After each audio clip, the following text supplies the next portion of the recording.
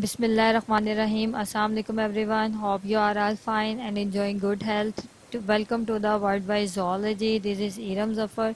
Today the topic which we are going to discuss is mating systems in animals. So there are basically three mating systems which we discuss in this lecture that is monogamy, polygamy and polyandry. So let's talk about the monogamy as the term itself define that mono means single. So a single male mate with a single female and the female and male makes bond for their lifetime. So you can define it as the practice or state of being married to one person at a time.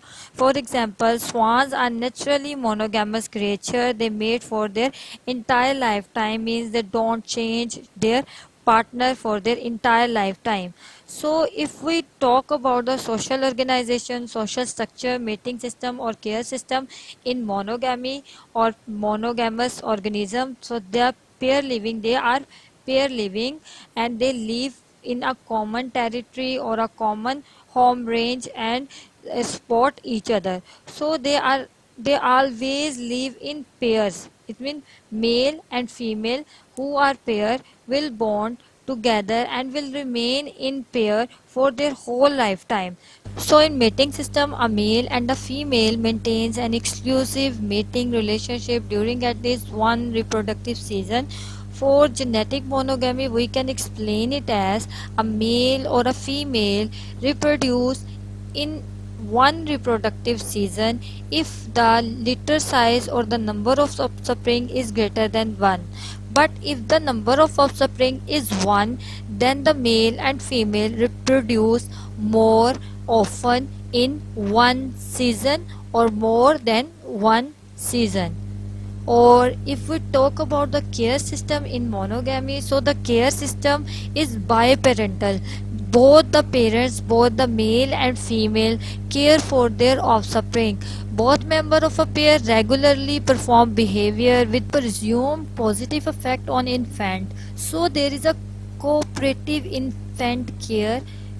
When one parent is foraging or searching for the food the other parent care for the ch child. So with cooperative infant care they support each other or the care of the offspring becomes more easy and more protective so there are many monogamous organisms such as seahorse, emperor penguins and swans. So let's talk about the other mating system that is polygyny which itself defines itself that poly means many and gyne means female. So in polygyny mating system one male mates with many females. For example lions, seals, gorillas and birds are all polygynous organisms. If eh, what happens in polygyny in polygyny, dominant male fight with the recessive male to take approach to the females. So when a dominant male fight and wins the fight, the females were available to mate with the dominant male. So males fight for the right to breed. For example, male elephant seals, they fight with each other and the male which wins the fight or the dominant male will have the opportunity to mate with many females. For example, another example, fairy wren and alpha male elephant seals. So what why animals show polygyny polygynous behavior? So in polygynous behavior male have a number of offspring likely to correlate with number of mate Men, means that male have a chance to transfer its genetic material with a with efficiency that it may increase the number of offspring of that male so what will the benefit to the female? So female gets a high quality males mean the males with the best genetic character the male with the best genetic makeup will mate with the female. Female gets less of the male's time and attention for raising young being defended against predator.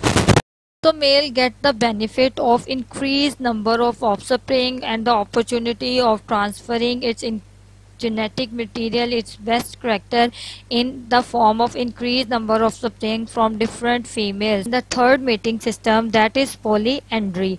Poly means many and andry means males. So in polyandry there is one female who mate with many males but males mate with only one female. For example sandpiper. In birds polyandry is common. In birds there are two types simultaneous or sequential.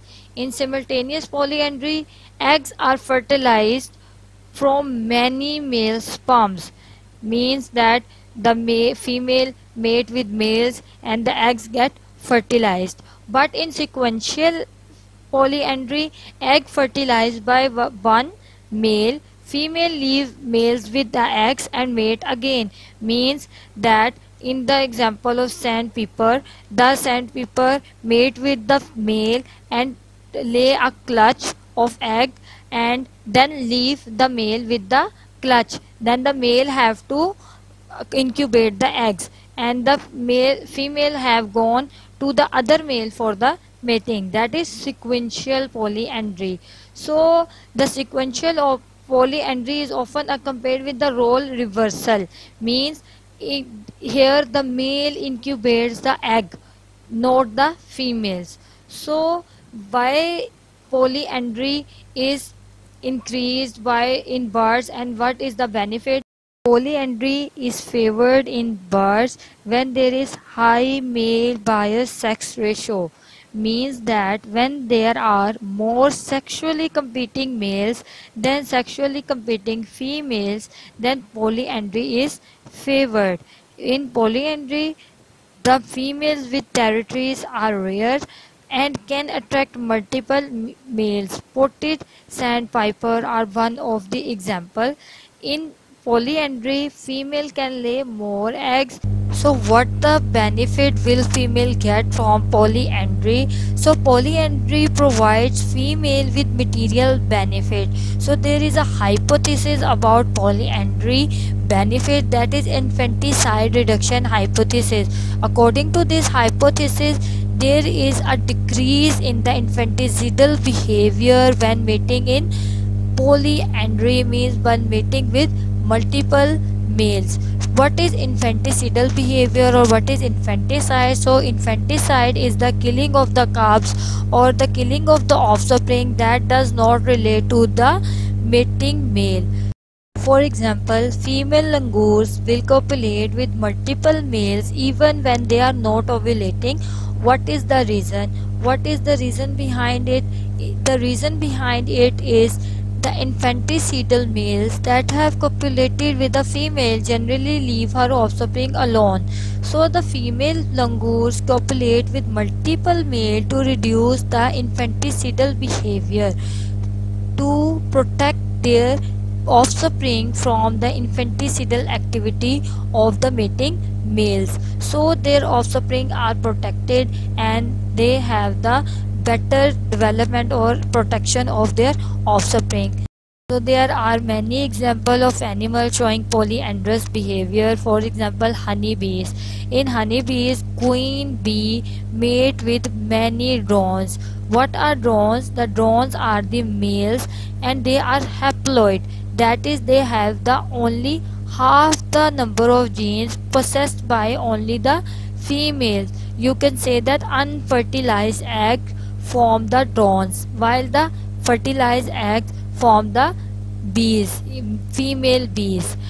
We can say that if queen honeybees mate with many drones up to a dozen you can say then the queens will produce offspring with up to 12 different paternities. Means the offspring produced will have the genetic makeup of that 12 drones so what is the benefit of polyandry for females? Females have the direct benefit of fertilization assurance that they are assured that their eggs are fertilized. Provision of resources mean they get the food and protection in the male's territory without the fear of the predator or other male infanticidal activity. And the parental care of their offspring means the reduced activity of infanticide so indirect benefit will be the good genes cryptic female choice increased genetic quality and genetic diversity. Good genes means the female will produce offspring with best genetic character with best genetic makeup. If she mated with a male who has the best genetic character well suited for that environment. So what is the benefit for the males? The males will have the benefit of fertilization success or sperm storage. In the case if they have the copulation duration increased than the other males mating with the same female. So if the male have a copulation time more than other males then there is a chances of sperm storage and fertilization assurance of that male. So more the copulation duration more will be the sperm storage and fertilization success of that organism and that will be an advantage in sperm competition.